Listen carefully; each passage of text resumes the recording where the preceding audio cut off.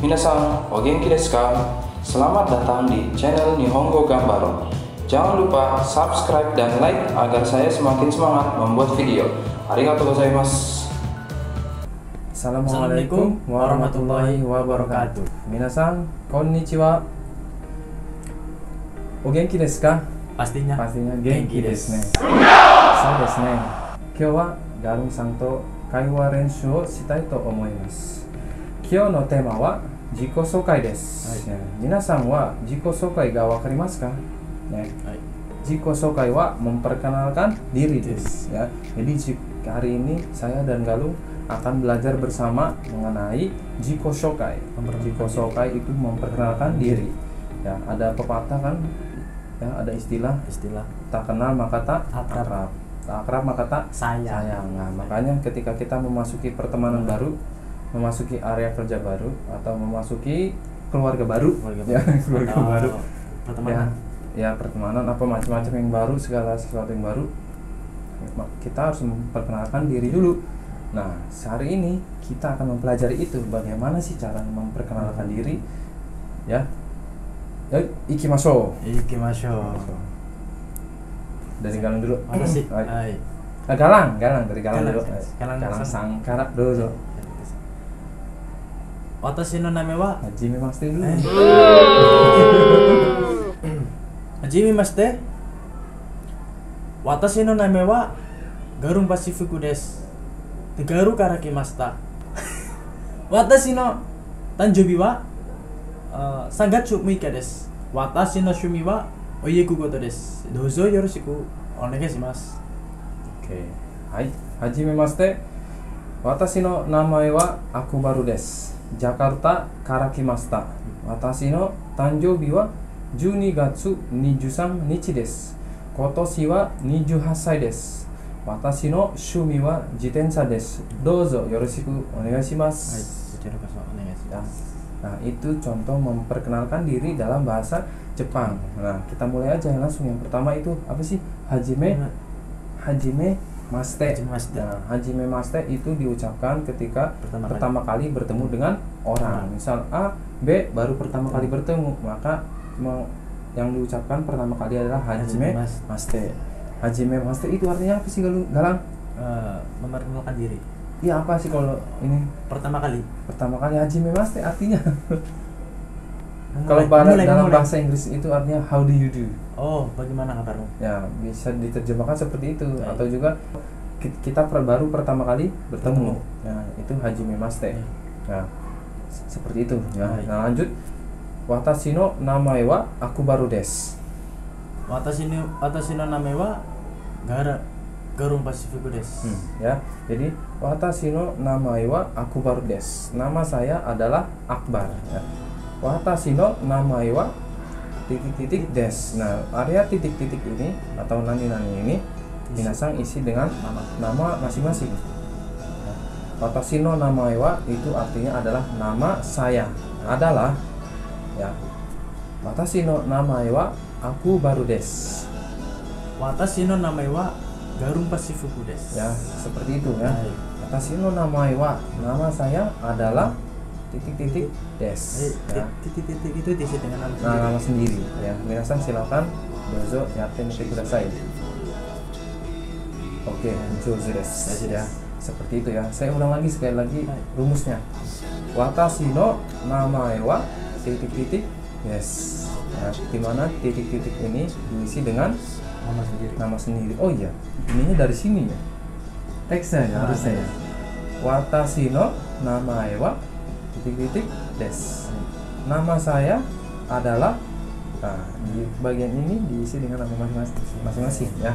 Ya, sudah paham? Hai, wakarimashita. Oke, ya lanjut sekarang mengenai asal daerah. Asal daerah. Ya, asal daerah. Asal daerah dalam bahasa Jepang itu karakimashita. Karakimashita itu artinya berasal atau datang Dari. dari. Nah, contohnya ya. Watashi wa Jakarta karakimashita. Watashi wa Tegaru karakimashita. Saya berasal dari Jakarta, ya. Watashi wa Jakarta karakimashita atau watashi wa titik-titik karakimashita ya. Watashi wa itu saya ya. titik-titik ini, ini diisi dengan asal masing-masing ya Nama daerah. nama daerah ya boleh Bandung boleh Jambi. Sumatera Jambi Ya. kenapa Jambi ada apa sih Ah, Jambi Jambi tempat istimewa oh tempat istimewa saya. kenapa istimewa rahasia Oh, rahasia aja ya. Maka siwa titik-titik ini diisi dengan daerah Daerah. masing-masing ya. Boleh dirasa yang dari Sumatera, yang dari Jawa, yang dari Sulawesi, Papua, semua diisinya dengan diisi di sini ya. Baru kara kimasta. Nah, kara kimasta ini artinya berasal atau datang dari ya. Saya ulang ya. Watashi wa Jakarta kara kimasta. Watashi wa Tegaru Karakimasta Oke, nah sekarang minasan coba latihan, silakan. Oke, Josu des. Josu itu artinya apa sih? Pandai, pintar Mantap, pintar ya. Oke.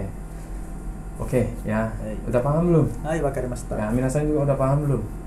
Pastinya Oke, paham. Pastinya udah paham ya. Mudah-mudahan paham ya. Kalau belum paham, silakan tanya ke Galang Sensei. Baik. Apa channelnya? Ya tadi sini Ya, terus nih, belum ada ya. Belum. ya. Nah, selanjutnya kan tadi udah ada asal daerah. Berarti ulang tahun. ulang tahun Tanjubi Hmm, ulang tahun Tanjobi. Nah. Jozu desu ne. Mada Mada des Mada desu ne. Baik. Oke, ya. Apa Tanjobi? Ya, Tanjobi, ulang ulang tahun. Nah, ulang tahun dalam bahasa Jepang itu artinya Tanjobi. Tanjubi Ya. Untuk menjelaskan mengenai ulang tahun masing diri sendiri, yaitu polanya adalah watashi no tanjobi wa nani nani gatsu nani nani nichi desu. titik-titik Titik-titik gatsu itu bulan. Titik-titik nichi Tanggal. tanggal ya. Contohnya ya. Watashi no tanjobi wa 12 gatsu 23 nichi desu. 23 Desember. Sekarang Watashi no Tanjubi wa Sangatsu Wika hmm, desu berarti Tanggal bu- tanggal 6 bulan 3 3. Ah, udah. Tanem. kalau sebentar lagi tapi mas tapi tapi mas. masih ya jadi polanya seperti itu ya. Watashi no tanjobi wa itu artinya ulang tahun saya. Baru titik-titik gatsu. Gatsu ini bulan. Baru titik-titik nichi des ya nichi ini artinya tanggal Tanggal. ya biasa silakan latihan ya oke nah mengenai bulan ini gampang ya bulan 1 sampai 12 menggunakan angka angka jadi jarang orang Jepang menggunakan Januari, Februari, oh, jarang. jarang sih Ya, yang dipakai itu Ichigatsu, Nigatsu, pakai angka. Oh. Jadi misal 1 sampai 12 masukkan aja. Satu Ichi, si Ichigatsu. Nah, ada pengecualian kalau bulan 4 dan bulan 9. Ya, kalau bulan 4 itu disebutnya Shigatsu. Shigatsu Jadi nggak ada penyeb- penyebutan Yongatsu itu Yongatsu. enggak, enggak disebut dengan Yongatsu. Ya. Dan bulan 9 itu Kugatsu. Kugatsu sensei Kugatsu ya Bukan enggak ya? enggak nyebut Hmm. enggak disebut dengan Kyugatsu Kyu. ya jadi kita bahas kita ulang ya Ya. bulan 1 Ichigatsu bulan 2 Nigatsu bulan 3 Sangatsu. Bulan 4 Shigatsu. Bulan 5 Kogatsu bulan 6 Rokugatsu. Bulan 7 Na Nagatsu. hmm. bulan 8 Hachigatsu. 9 Kugatsu. 10 Jugatsu se- bulan 11 Juichigatsu bulan 12 Junigatsu. Genjatsu ya. Hei. terus mengenai tanggal. Nah tanggal ini ada banyak ya. Tanggal, 1 oh, sampai 30 30, 31. 31 Hai. yang enggak ada 32 ya. Bikin sendiri bikin satu sendiri ya. Tanggal ini ada banyak 1 sampai 31 ya menghafal sih menghafalnya bagaimana sih? Ya. Menghafalnya itu yang pertama tanggal 1 sampai 10 tanggal 14 20 dan 20. 14 itu dihafalkan. 24 Ya. juga? 24 Hai. ya. Satu Suitachi. Sutachi dua Futsuka. Utsuka tanggal 3 Mika. Mika ya. Hai. tanggal 4 Yoka. Yoka. Tanggal 5 Itsuka. hmm, tanggal 6 Muika tanggal 7 Nanoka. Tanggal 8 ah, tal- Hachi. Yoka. Eh, Yoka. Ya Yoka. Yoka. Tanggal 9 Nanoka. Nanoka. Tanggal 10 Toka. Toka ya. Terus tanggal 14 Juyoka. Juyoka. Tanggal 20 eh, Hatsuka. Hatsuka. Tanggal 24 Nijuyoka. Nijuyoka ya kalau dari tanggal 11 sampai tanggal 31 itu angkanya ditambah nichi saja. Misal tanggal 11 ju ichi nichi. Tanggal 21 niju ichi. Niju ichi nichi. Tanggal 30 sanju nichi. Sanju nichi. Oke, kita ulang sekali lagi ya. Tasino tanjo biwa 12 gatsu nijusang nichi desu. Hmm. Watashi no tanjobi wa sangatsu mika desu. Oke, ya sudah paham Hai, ya. Minasan juga mudah-mudahan sudah paham ya. Nah, Oke, selanjutnya setelah ulang tahun, umur. umur. Umur ya, umur itu rumusnya watashi wa titik-titik sai desu. Ya. Watashi wa itu saya. Sai desu ya, sai itu artinya umur, Umur. usia ya. Watashi wa 28 sai desu. Saya berumur 28 tahun. Galang. Watashi wa 19 sai desu. Hmm. Artinya Saya berumur 19 tahun. ya saya ulang sekali lagi rumusnya ya watashi wa nani nani atau titik-titik sai desu ya di mana titik-titik ini diisi dengan umur masing-masing ya misal saya 28 berarti niju hasai nah galung 19 berarti 19 cara penyebutan umur dari 1 sampai 10 bagaimana sih ya kita bahas ya 1 sampai 10 aja nah sisanya tinggal tambahin aja Ya. ya.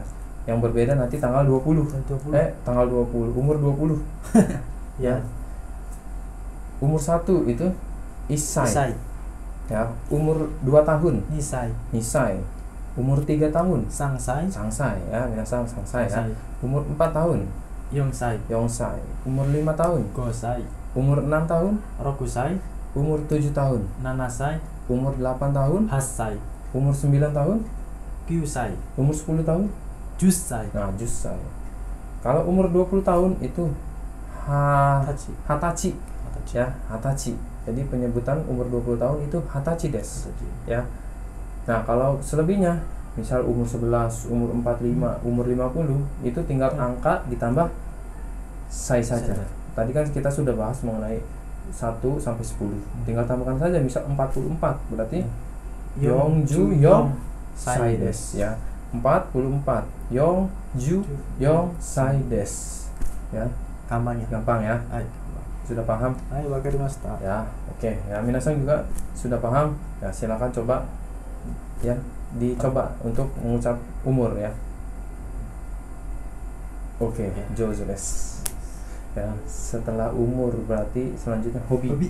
ya hobi bahasa Jepang itu Shumi. shumi ya Shumi. shumi menggunakan shin Shin. ya bukan sa biasa tapi shin, Shin. ya polanya adalah watashi no shumi wa titik-titik des nah di mana titik-titiknya ini diisi dengan hobi masing-masing. Nah, contohnya saya watashi no shumi wa jitensa des Watashi no shumi wa oyoku koto desu. ya hobi saya adalah naik sepeda lalu Hobi saya adalah berenang. nah kita lihat kalau hobi saya kan tadi jitensa des jitensa itu kan sepeda Beda. nah terus galung oyogu koto Berenang. berenang berenang ya berenang itu berarti ada kata kerjanya kan oyobu ya. oyobu nah kalau untuk menyebutkan hobi dan ada kata kerjanya itu belakangan ditambahkan koto Koto. Harus itu. harus ya Harus itu. misal berenang hobi saya berenang berarti watashi no shumi wa oyobu koto desu misal hobi saya makan berarti Watashi no shumi wa taberu koto desu. Hmm. hobi saya apa lagi ya Mancing. mancing Eh, mancing kata benda. mancing kata benda berarti Oh. ya mancing watashi no shumi wa tsuri desu Suri desu.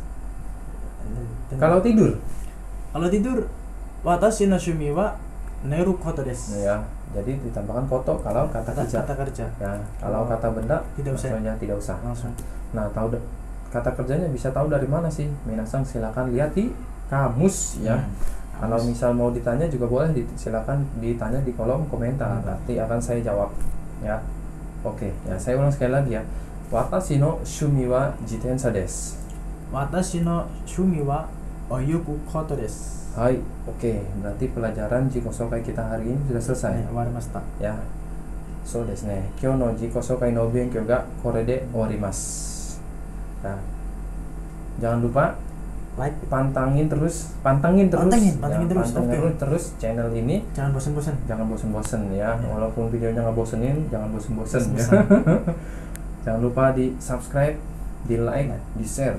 Apalagi kalau di share saya senang banget kalau video saya itu sampai bisa di share. Iya. Berarti video saya yang video yang saya buat, video yang kita buat, kita buat ber, bermanfaat, bermanfaat untuk orang lain ya. Iya. Lalu ada yang disampaikan?